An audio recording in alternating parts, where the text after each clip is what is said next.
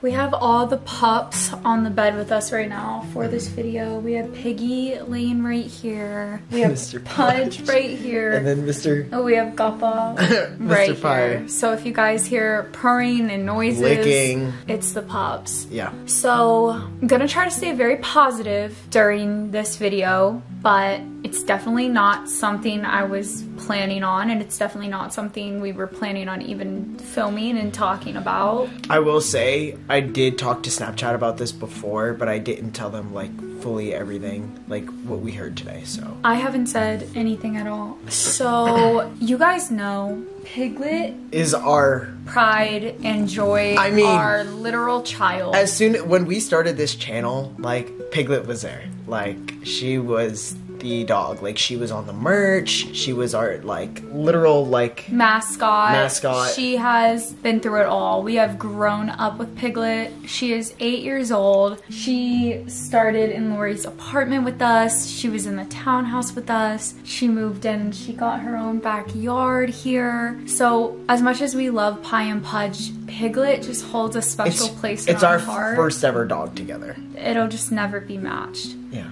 So, Pig has had these lumps on her left leg for about a year, I would say. Um, I had them, we had them checked out last year, and the doctor just kind of looked at them and was like, oh, I don't really think they're anything. I think it's okay. Keep an eye on it. If it gets hard, come back. We'll check it out. So she still has it on her and she's only getting older. Pig has had these bumps on her and now she has a smaller one. And I just don't like them. I don't like that they're so hard. Mm-hmm. I just worry about her. it was time for her to get a checkup anyways and like julia said we've had them looked at. We watch over them. If there's anything the slightest chance wrong with any of our dogs we take them like right away. We mm-hmm. make sure. She's had these checked out before and they were benign at the time. They were really nothing and they didn't flag any concern to the veterinarians or us or really anybody. But these two actually had uh, an appointment, I'd say a couple weeks ago, and then Pigs was a little bit later. And Julia actually took her to the vet yesterday. And I just want to say, when I was taking her to the vet yesterday, I was so anxious. And I'm normally not. I'm normally not anxious taking them to the vet because it's like, we're just going, getting whatever done, getting them medicine, it's good. But as she's gotten older, it starts to stress me out. I am so scared every time we take her to the vet that they're gonna tell me that something's wrong. And I have had a bad feeling about these lumps on her legs because when we got them checked out, we never got them tested. We just got them eye viewed. they kind of and felt them, and they felt like okay and At stuff the time, yeah, at the time we really didn't think it was anything. I had a family dog before, and he used to just get like um, bumps, and they weren't. Also, anything. pit are prone to fatty tumors. fatty cells. I Or think that's what fatty it is. cells, Fatty cells when they're Yeah. not anything. Yeah, so, they were like, that's just what it is. It looks Yeah. like that. So, but if it does grow, let us know. So it didn't grow, but like I said, she got another one, and I just I don't think they're supposed to feel hard like that. I could be wrong, but I called, I made her an appointment, and I took her, and I called Todd, and I was like literally about to have a panic attack, and I was like, I don't know why I'm so anxious taking her to the vet right now. Like I just feel like they're gonna tell me something bad. And we love our vet. They are the best. Trust them with, With- her life. Like yes, trust them with all their all lives. Like My they're life. so literally same. Yeah. Like they are so amazing. They are the best people ever. So we took her to the vet and I actually got the bumps, lumps, whatever you want to call them, sampled. So what the first thing I heard when I walked in, Ugh. the girl is so nice. I love her. She's the best. She was like, you know, not to scare you, but they kind of look like mast cell tumors, I think is what they were called. She said pitties are prone to them, unfortunately, and there's different types. They could be benign, of course. They could be stage one, where maybe the dog doesn't have symptoms, and then they could be like stage four, like really bad, cancerous, all that fun stuff. So I'm like, oh Oh my god, my heart drops because I'm like, great. I knew I was sick coming here for a reason. I was so worried about this. I thought they were just gonna be a cyst or a fatty, a fatty cell. So we tested both of the bumps with a needle. She told me with the needle test, there is only so much you can see. It can kind of give you an indicator of no, it's nothing, or hey, it might be something. We should get them removed because if we get them removed, they can go get biopsied and tested to see if it really is cancerous. So we did the test yesterday. We went on and got her extra blood work just in case surgery is what needed to be done. Because they already know that we take any precautions. Oh, they're like as soon as they yeah. they're like, it's gonna be X amount of. I'm We oh, don't like, care, um, I'm- and they're like, yeah, I didn't think you would care, but like, just letting you know, like, no, I'm like, do anything for her, make Yeah. sure she's okay. Oh my god! And the worst part was that they were like, the results won't be until tomorrow. she got her blood results. Everything was good with that. Her blood was good, thank God. But we had to wait until today to get a phone call about these masses on her legs. So basically, what they told us is the little one came back as like nothing. We don't think it's anything. But the big one came back with some cells. I don't remember the terminology, I don't remember the specific wording or what it was called. But with the cells, there's three things it could be. It could be she had an injury and she formed like scar tissue uh, because of the injury and it's picking up some kind of whatever the word is cell. It's like a certain type of cell. It starts with an M, I believe. Another thing is she could have got debris, like a piece of stick or Or something like stuck something in her. like stuck, like a And then once again, something formed around it. So it's creating those cells. Or it could be a mast cell tumor. So it could be a cancerous tumor, and those could be the cells that it's picking up. And when I heard that, my heart freaking dropped. when you texted me that, I literally like my stomach hit the floor. I was so sick. I like felt like my world was gonna It's not something that I'm ever expecting, but like it's something that like I feel like even if you as a person go to the doctors, you're scared they're gonna just like say something random or out of the blue to you, and like it does suck because oh damn. Oh, don't cry. Please don't cry because I already cried earlier and I thought we weren't gonna cry. I thought we weren't. The only reason why I didn't cry earlier is because Maddie was down there. I was like, bro, I can't cry. for her." stop. Oh shit. Babe, no, stop. Oh fuck. This dog is our literal world. And I would literally give her the world. And we try our best, babe. Come here. So the it potentially could be cancerous. Um, but she is getting surgery for it. Yeah, so what I was gonna say is it's not a positive that it is cancer. That's Um, just like could it's your be- kid. Like It could be multiple things. Mm-hmm. It could not be cancer. But as soon as we heard that, I started bawling my eyes out this morning. And I'm actually surprised that I'm calm right now. I think I didn't cry earlier. I was keeping it together. I think was we flip flopped. I'm trying not to cry now. Yeah. But I'm just telling myself, like, I truly believe that Piglet Comes from- comes from a great bloodline. Yeah. You guys know we rescued her, but we actually ended up Finding- finding, her bloodline. We f- we found like the the breeder and everything, so And, we like- know she has a really good bloodline. And they're super. Yeah, these dogs are great dogs. Like they're healthy. They're healthy Her, her dogs. parents are still alive. they're they're in movies. So- like her literal siblings were in like Once Upon a Time in Hollywood and a couple other movies and stuff. So so she comes from a good place. And what also made me feel better is the nurse said that if God forbid it would be cancerous with this type of tumor, it doesn't spread. Thank God. So ah. removing it is Yeah. what gets rid of it. And all you have to look for after that is if the tumor comes back and it should only come back in the same spot. unless So- they unless they don't get it all out though. It's if they don't get it all out. but so as Saud mentioned, we are gonna get her surgery because we don't know, Yeah. and we're not gonna have peace of mind. Like I'm not gonna leave something on her that could potentially hurt her. Mm-hmm. So she's gonna get surgery. It's the first time she's had surgery since she was spayed. I'm terrified to put her under. To be honest, I'm gonna be sick like the the entire time, but I'm not gonna risk it. Okay, Um, long story short, like this, do- all of our dogs are our babies, and if anything was to happen to them, I don't know what I would do. yeah, and like Actually. it, even if it was one of them, like I'm still gonna be the same way. It's just ah, just like especially for the ones that have been here for the whole seven years of us being on YouTube. Like this dog has been here since the beginning of our relationship, since YouTube, since I felt like I became a person. She was like She's the biggest there- blessing in our life. She was there for my transition. She was there for us dating. She was there, like, she was there for some. She got on TV. She did get on TV. they didn't even say hi to us. TV. Like, this dog has just been. She's in the history books.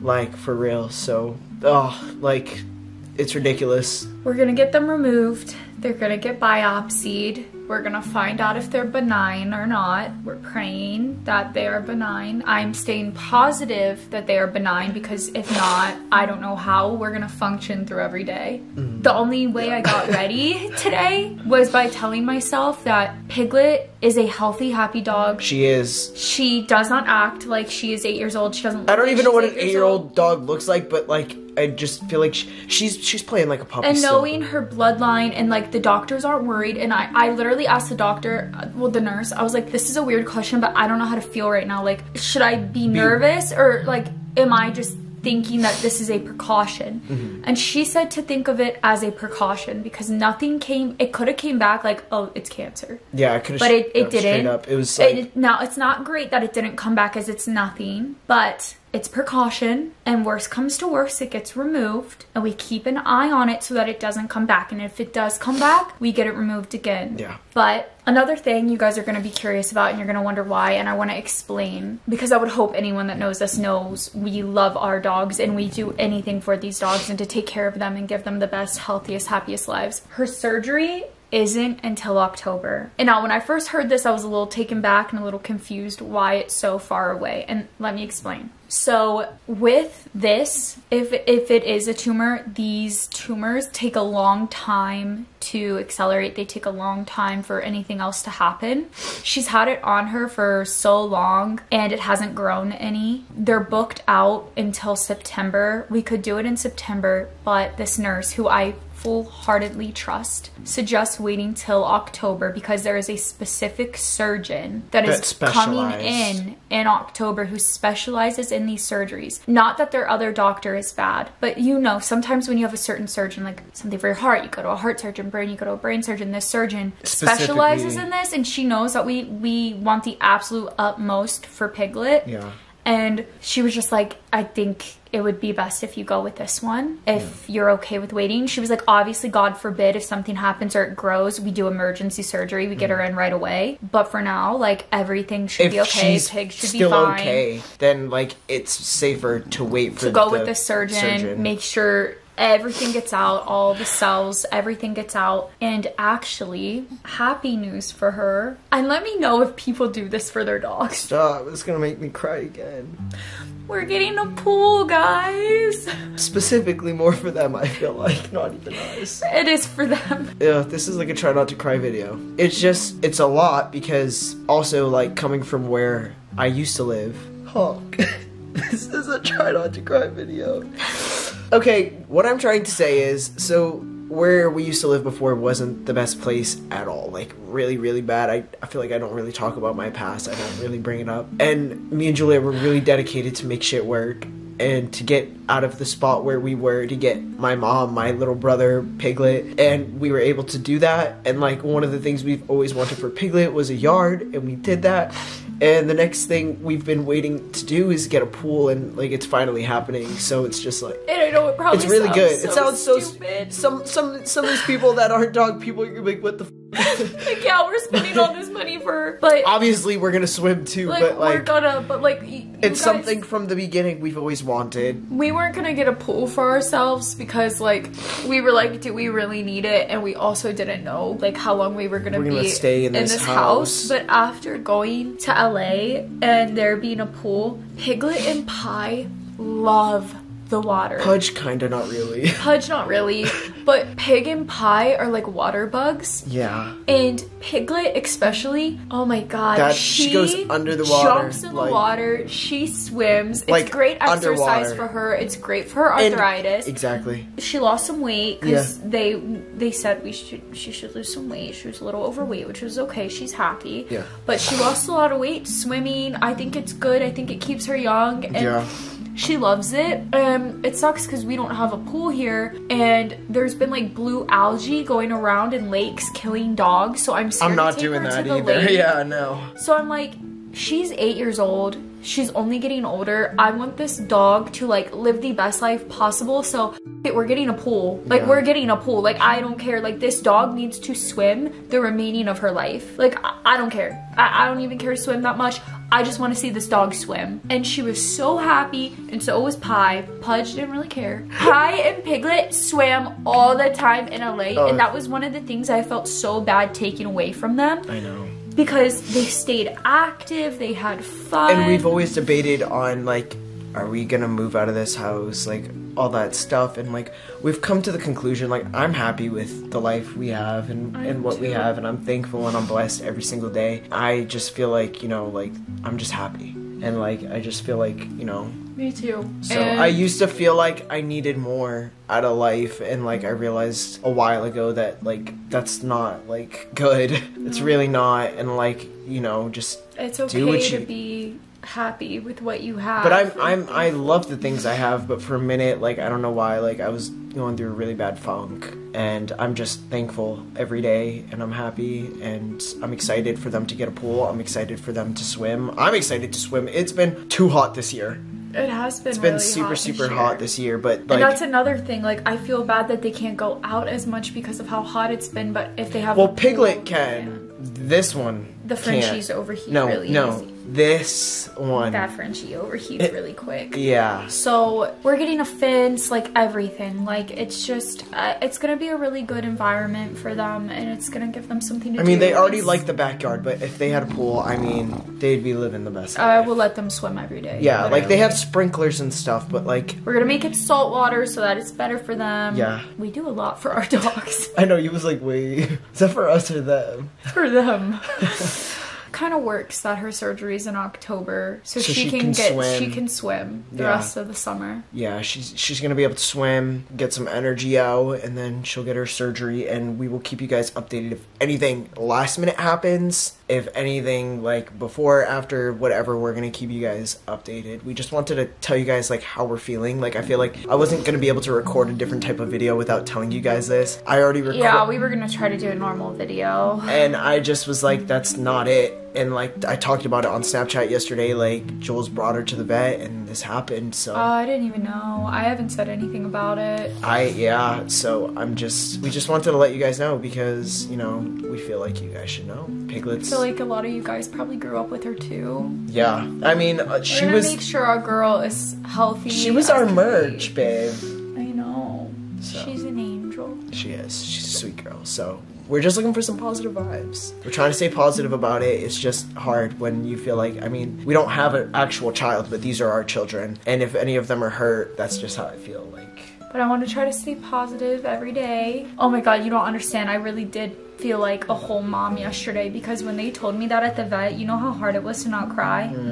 But she was Mm. I wasn't so nervous. Yeah. Pig was so nervous. So I like I'm telling you, this feels like my literal child. I literally like mom instinct kicked in and I like kept my feelings together for her cuz she was so She was- nervous. yeah. And I was like I can't let her know that I'm nervous Mm-hmm. cuz she's already nervous, so I have to be brave for her. And it was so cute. When she was getting her little tumor poked, we were singing the She's so brave. Uh, She's And uh, not oh, wasn't you feeding her afraid." treats? She that, that's a cute thing about her. I said it don't matter how scared she is. She, She will will eat. she gotta eat, dude, regardless. That's our update with Piggy Girl. We'll continue to keep you guys updated more. I'm glad all her blood work came back too. I think that's also what kind of comforts me. Yeah, that everything else is knowing was like really she is good. healthy. Yes, in period. every There's nothing else. department. Yes, one thousand So, if you guys have had a similar experience with your dog or like these kind of tumors, please let us know, especially in the comments below, because we haven't dealt with this. I mean, you had your family dog, but were they ever cancerous? No, They were just. he just had fatty cells. I mean, I'm sorry, but the poodles, the little miniature poodles, live the longest. They They'll have the most problems I mean. and he live was the like longest. 20. Like he just he was blind, deaf, diabetic. Like he just kept it pushing. Poor little guy. God rest his soul. Rest in peace. But like this is like a whole different ballpark, and it's also like when it's your like literal own dog that you feed, you, You- take care of, you, you like damn near birthed. literally like she came out of me. That's how I Oh, feel. okay. I just love her a lot. Yeah. think that's all for this video. If anything else happens, we're gonna give you guys an update, but the surgery is going to be in October. So hopefully nothing happens until October. Just add us on Snapchat or just stay following us on here and We'll hopefully this pool will come in soon and Pig will be swimming. Hopefully there are no updates. Hopefully it doesn't No, grow. hopefully she's just swimming in the pool. and she's just swimming and having fun. Yes. But anyway, we love you guys so much. We will see you later and stay Stay A1.